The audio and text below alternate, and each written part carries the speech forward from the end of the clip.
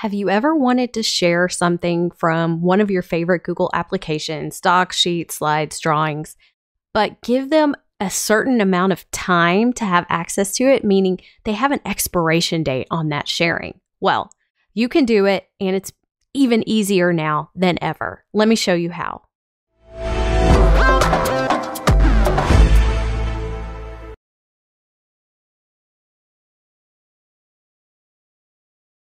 So, this week's quick tip is actually about sharing within Google. So, the various Google applications that we use so often and use that blue share button and get this pop up like this, you may have noticed a new little notification telling you about adding an expiration date. So, it's very, very simple to add an expiration date.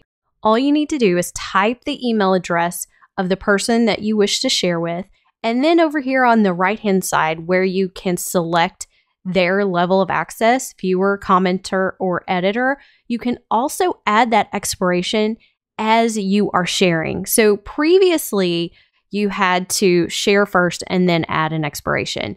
But now you can do it all at once. And if you give this little notification box a check, they will get that information in their notification as well. It defaults to one month. I, I kind of don't like that it defaults to that, but you can just click this pencil and pick another date. And it also defaults to 11:59 p.m. As of now, I have no control over the actual time, but just the date. So, um, and I'm guessing that is actually in my own time zone, but I'm not completely sure yet. I like this. I think sharing with an expiration date can be super handy, especially when teachers are sharing with other teachers or you're collaborating together and you need something done by a certain amount of time and you need to take it over. Now, yes, you can share with students. Keep in mind, Google Classroom is going to override some things. So, this is not necessarily, I think, intended for student use. However, if you are sharing this maybe with a student doing some makeup work and you're trying to get it done by a certain date, I know that's a feature that we've wanted in Google Classroom. So if you don't push out that assignment there and attach it in Google Classroom, you could just share it individually. I kind of think that's a little bit of a workaround. If you want to try it, let me know how it works.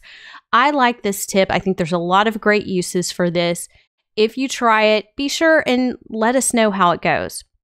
If you like this tip, give me a thumbs up, ring the bell, and subscribe. And if you haven't, hop on over to shakeuplearning.com and check out all of our free resources there. Bye, y'all.